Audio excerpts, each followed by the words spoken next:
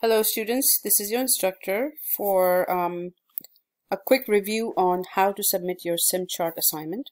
When you log into Evolve, you come to this page and you want to go to My Evolve.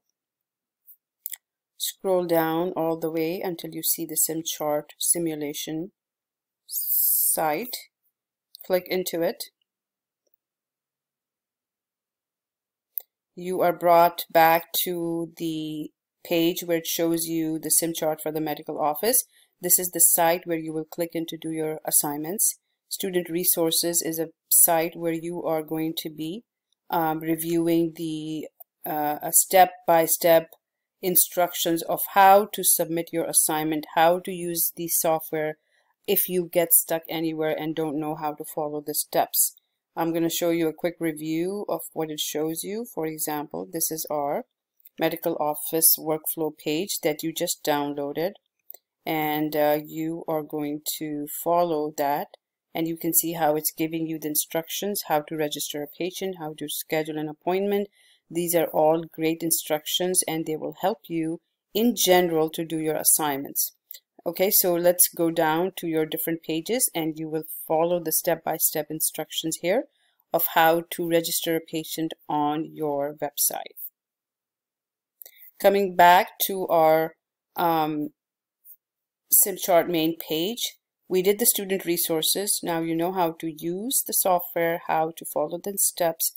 Now you're going to go and do your assignment at the actual medical office website, which is the actual place of your software. So you now you can see that these are all the assigned cases I have given you. Remember, I'm not asking you to do all of them. Whatever you see on your Canvas page is what you need to follow, such as for Module 1, it says SimChart activity number 18.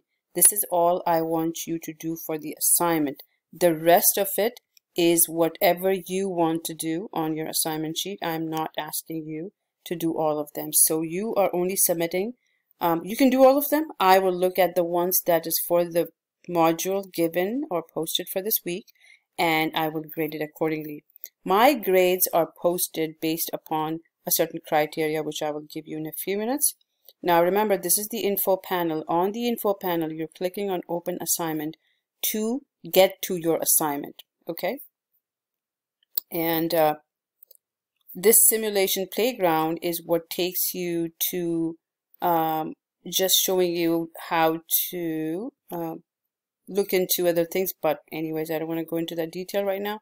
Let's just click into your assignment which is 18 I really want you to pay attention to this because this is a very important page that shows you how to do your what do you need to finish your assignment. So let's look at Lisa Ray. These are attachments. This is giving you the information of her policy group uh, co-pays and everything. Take a screenshot or a picture on your cell phone because you will need all of this information to document in the patient's uh, info for the patient's info on the software okay?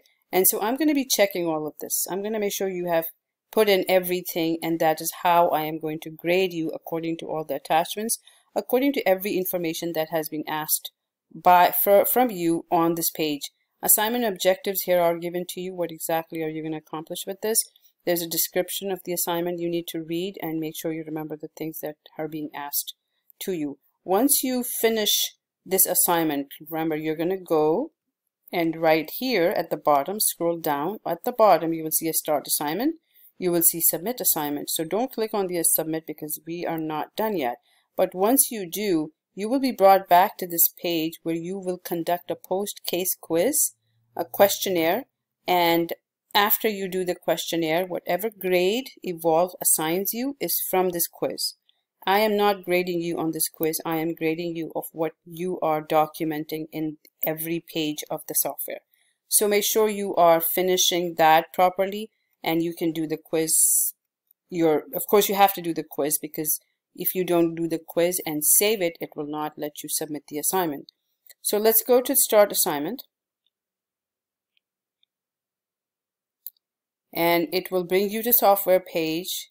This is just a assignment detail for you to remember what assignment I am doing. You can hide it again and just keep just for the refreshing of your memory you can use this and this is this page is giving you a lot of information you're in the front office, you're in, you're doing some clinical care, which is the progress notes, patient might be admitted in the hospital, you're following up, you're recharting some information. Coding and billing is when you are assigning codes for um, fi uh, filing these forms to the insurance company. So all of this information is very important and, and uh, relevant to office work in your clinic. But you have to make sure that you are uh, following your assignments as well. So our assignment was again, we came back to the last page again, but our assignment was uh, new registration for Lisa Ray. So we begin our assignment again. I was just trying to review everything else with it. You have a calendar view. Make sure you play with all these tabs here, okay? You want to know exactly what it is. This is an exam review, which shows you what exam uh, was this patient uh, was seen in, what doctor is evaluating this patient. And then you have a calendar, correspondence, which are emails, information, communication with the patients, patient demographics, finding a patient which is already in your system, and form repository. So let's say we're looking for Lisa Ray. If we go into this page, we do not see Lisa Ray here because we have not yet added her.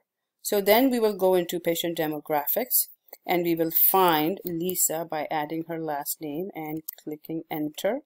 Search exit existing patients we do not have, so we will add the patient here. This is how you add a patient.